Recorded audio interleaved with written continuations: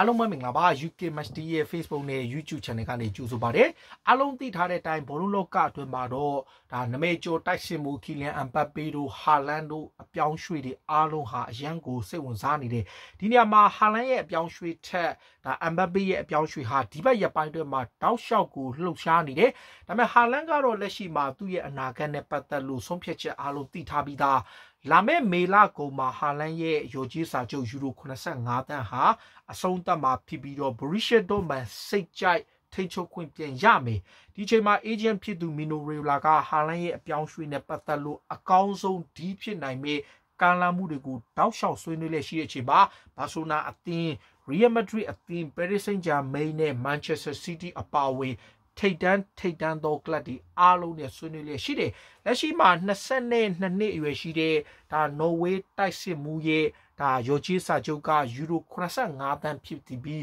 ဧပြီလကုန်မှာတက်တန်းမကုန်ဆုံးခင်ဒါမီနိုရိုင်ယိုလာကအသင်းတသိနဲ့သဘောတူညီမှုရဖို့လုပ်နေတယ်ဘရီရှာဒေါမန်ကတော့ဟာလန်ဆက်ရှိဖို့ကိုမျှော်လင့်ထားစေဖြစ်ပြီးဧပြီလမှာဟာလန်ရဲ့အပြောင်းအရွှေ့မဖြစ်ရင်သူတို့က ကာလရှည်ကြာတက်တန်းတိုးဖို့စဉ်းစားနေတယ်ဒီနေရာမှာဟာလန်ရဲ့ယူရို85တန်းတန်တဲ့ရောကြီးစာချုပ်ကိုပေးဖို့အသင်းတိုင်းကအသင်းရှိပေမဲ့သူတို့တောင်းဆိုထားတဲ့လောက်ခလာစာကိုပေးချေနိုင်မဲ့အသင်းကခက်ရှားရှားဖြစ်နေတယ်။နောက်ဆုံးသတင်းတွေရ Real Madrid, Manchester United, Manchester City သုံးသင်းရှိတဲ့အချိန်မှာ ဟာလန်ကိုတရားဝင်ကမ်းလှမ်းထားတာက Manchester City ဖြစ်ပါတယ်။ Manchester City သင်းကပြီးခဲ့တဲ့ရက်ပိုင်းတွင်ကဟာလန်အတွက်တနေ့လောက်ခယူရို28တန်းထိပေးသွားမှာဖြစ်တယ်လို့ဆိုတဲ့ဒီကမ်းလှမ်းမှုဟာဟာလန်ရဲ့တောင်းဆိုထားတဲ့ ပမာဏထက်ဒါနည်းနေသေးတဲ့အတွက်မီနိုဝိုင်ယိုလာနဲ့ဒါနော်ဝေးတိုက်စစ်မှုကမန်ချက်စတာစီးတီးရဲ့ကမ်းလှမ်းမှုကိုပယ်ချခဲ့တယ်ဒီနေရာမှာဟာလန်အတွက်မီနိုဝိုင်ယိုလာတို့က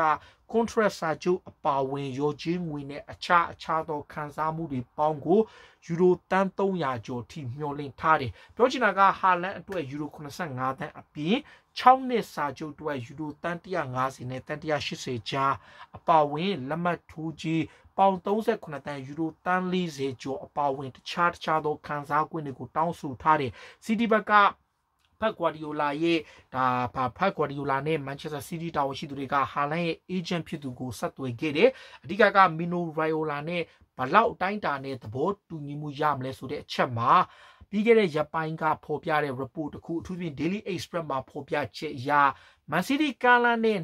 28တန်းပေါ့တစ်နှစ်လောက်ခလာစာ28တန်းကိုဟာလန်က ပေချလိုက်တယ်ဆိုတော့ Manchester City က okay ဒီထက်ပိုပေးရမယ်ဆိုလဲတည်တဲ့အတွက်သူတို့ကလာမယ့်ရက်ပိုင်းအတွင်းမှာဟာလန်အတွက်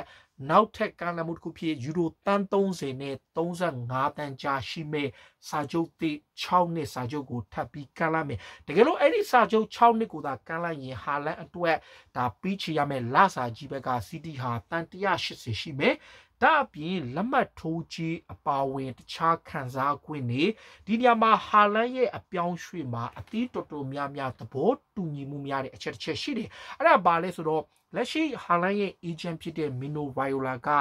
သူ့ရဲ့ကစားသမားကိုလိုချင်ရင်သူတို့တောင်းဆိုထားတဲ့အချက်ဒီတဲကဒါအကြီးတွေအပါဝင် ဟာလန်ကိုပြန်လဲရောင်းချတဲ့အခါ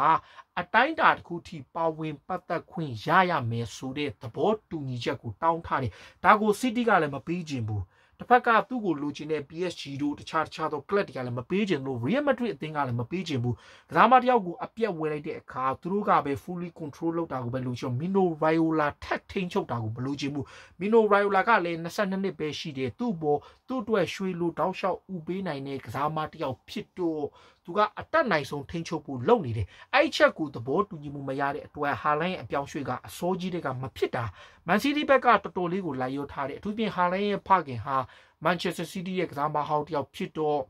ဟာလန်အတွက်သဘောတူညီမှုရမယ့်အချက်ဒီအားလုံးကို agreement ရအောင်လုပ်နိုင်တယ်ဒါပေမဲ့လေနောက်ထပ်ထိန်းချုပ်မှုကိုတော့သူတို့ဘက်ကမပေးချင်ဘူးအခုလောလောဆယ်မှာဟာလန်တို့ဘက်ကပြက်သားတယ်မန်စီးတီးကားလန်နဲ့ယူရို28တန်းကိုပယ်ချလိုက်တယ် တန်း30နဲ့35တန်းကြားမှာမကြပင်ကန်လာမယ်တစ်ဖက်မှာ Real Madrid အသင်းအပါအဝင် Manchester United ကလည်း Haaland အတွက် radar ထဲမှာရှိပေမဲ့ ESPN သတင်းဌာနရဲ့အဆိုအရဟာလန်ရဲ့ agent ဖြစ်သူရော Manchester United အသင်းကိုဒါဟာလန်ကိုယ်တိုင်ကညင်းဖို့အသင့်ရှိတယ်ဗျအဓိကကသူသွားချင်တဲ့ project သူလိုချင်တဲ့အောင်မြင်မှုမျိုးကို Real Madrid အသင်းနဲ့ Manchester City အသင်းကပေးဆောင်နိုင်စွမ်းရှိပြီး Manchester United အသင်းမှာရနိုင်ဖို့မရှိဘူးဆိုတဲ့အဓိကဆုံးဖြတ်ချက်တစ်ချက်နဲ့ United ကိုပယ်ချပြီး Real Madrid ဒါမှမဟုတ် Man City ကိုပြောင်းချင်တယ်ဒီနေရာမှာ Real Madrid ကလည်းတကယ်လို့များ Kylian Mbappe သာ Paris Saint-Germain နဲ့ကာလာရှီဂျာတက်တန်းတိုးသွားခဲ့ရင်သူတို့ရဲ့ target က fully control က fully ဒီ target ကဟာလန်ဖြစ်သွားပြီဒီချက်ကဟာလန်အတွက်လည်းစောင့်နေတဲ့အချက်ဆိုတော့ PSG နဲ့ဒါအမ်ဘပေဂျာ contract စာချုပ်တကယ်လို့ဖြစ်သွားခဲ့မယ်ဆိုရင်ဟာလန်ဟာရီမတူရဲ့နံပါတ်1ပြစ်မှတ်ဖြစ်လာနိုင်တယ်ဒီချက်ကြောင့်ဟာလန်ရဲ့ agent ဖြစ်သူကလည်းမေလ30ရက်နေ့ထိအချိန်ရှိနေသေးတဲ့သူတို့ဘက်ကရအောင်စောင့်နေတာဖြစ်တယ်ဆိုတော့တေချာတော့ Manchester City ရဲ့ယူရို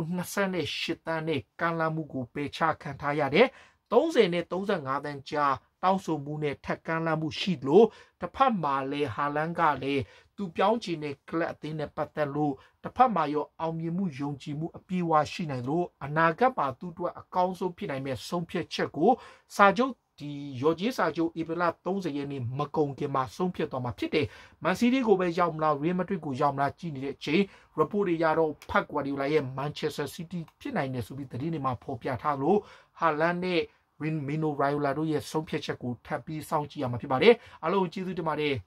ရေတော်ဘုံအောင်ရမည်